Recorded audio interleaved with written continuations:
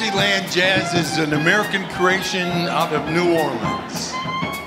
Originally was called just plain jazz, sometimes called hot jazz.